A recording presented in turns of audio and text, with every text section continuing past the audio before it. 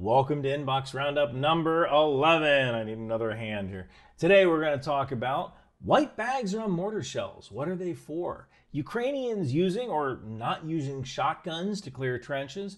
Why missiles aren't sanitized when they're fired, meaning why aren't all the data plates taken off of the missile?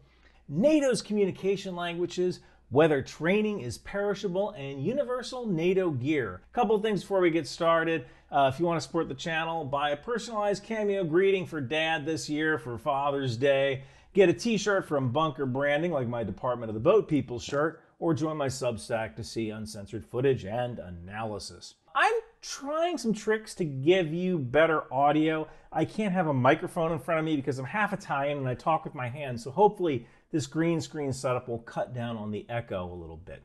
Let's get started. Lisa asks, can you please explain what those whitish looking rings above the fins around a mortar do? Looks like for distance uh, or who knows. Well, Lisa, you're right. Those whitish rings are called increments or charges. I did a short video about this a while back, but shorts are like fireworks. They fall out of consciousness quickly. So here it is to answer your question.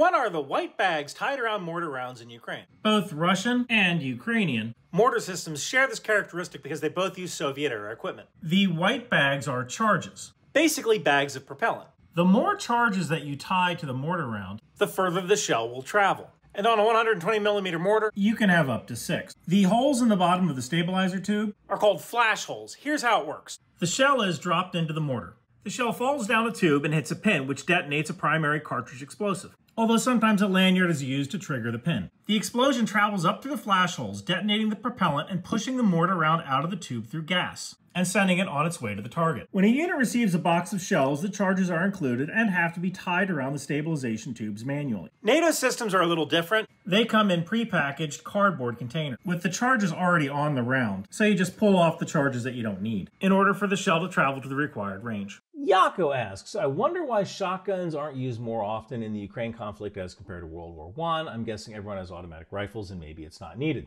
So a shotgun is essentially a farm tool pressed into service as a weapon. You can't argue with a fox. You can't tell the fox to go to Whole Foods and maybe consider vegan options. The problem with shotguns in combat is that modern body armor will just will shrug it off.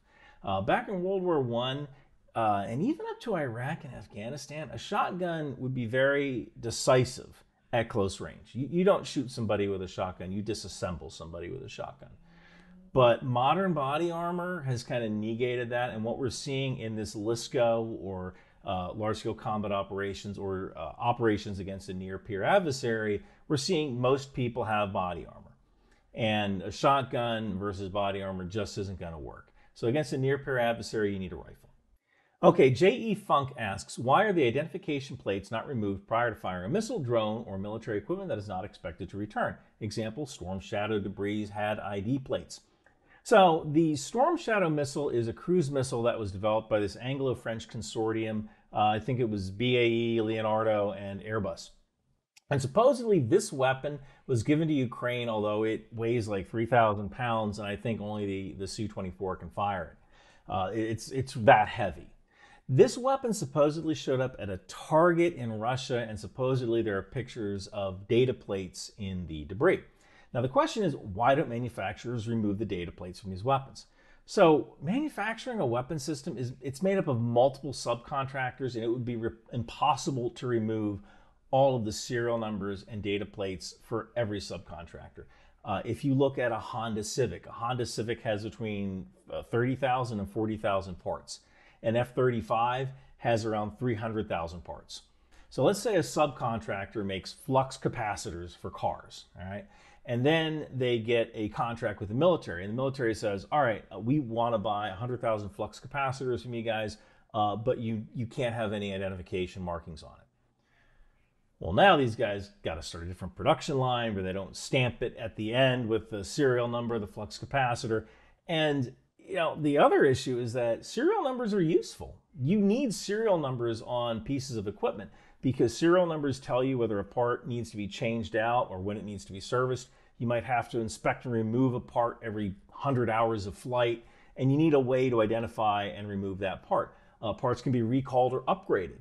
uh, you need to figure out whether this part is part of a bad lot. Even my uh, my Coke can, my Coke can has a serial number on the bottom of it in case something went wrong at the factory, and then need to recall the, that lot of Coke cans.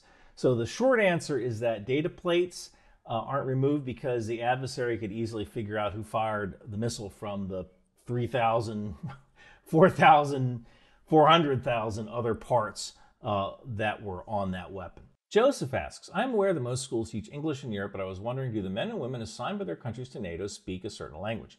NATO has two official languages, French and English. That's why you see NATO and OTAN. Why French? Well, the reason is that of the 12 original NATO members back in 1949, French was a major language in Belgium, Canada, and France. Now, now, German is a pretty big language as well, but Germany really didn't join the alliance until 1955. So in Europe, about 65% of people can speak more than one language, and that language is often English. Uh, but at the time, it was English or French just because that's what most people in Europe could speak. Today, most people who work at a NATO Joint Operations Center will speak in English or French, although, of course, there's always exceptions. Now, Bob asks Since Ukrainians were recently trained, it seems like they've been hanging out in reserve waiting for the big offensive. They were rushed through training and don't have any real experience, so aren't probably forgetting a lot of what they just learned.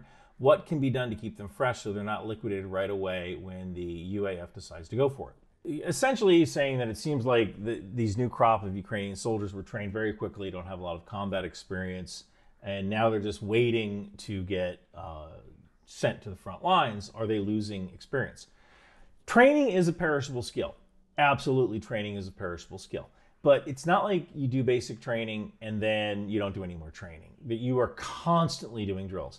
If you're infantry, you might set up engineer tape in the layout of a house and just go through it, clearing rooms. Uh, armor guys might just do drills on vehicle identification.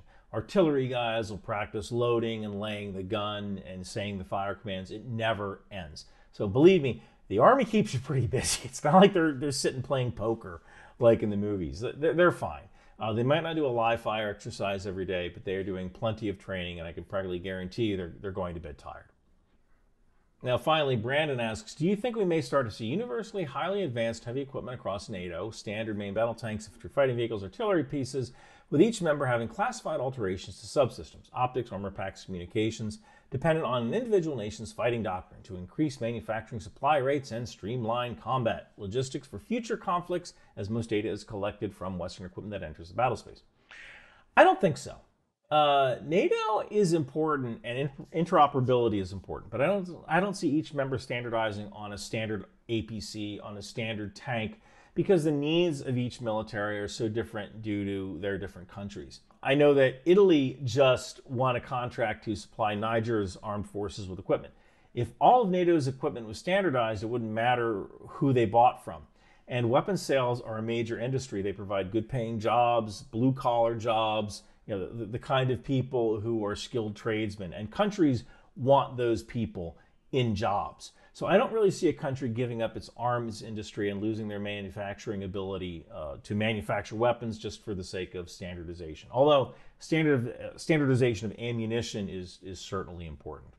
And uh, that's it for this week. Take us away, Elon. Oh, hi, America. It's me, Elon. Uh, if you want to be cool like me, go and get a Ryan McBeth t-shirt or hoodie from Bunker Branding. Mm-hmm. I'm going to get a HIMARS shirt because it fires rockets, and rockets are pretty cool, just like me. Ha ha ha, you fool. It is me, Mark Zuckerberg from Facebook, and I will be the coolest once I get a Patriot shirt because the system is fully automated, just like me.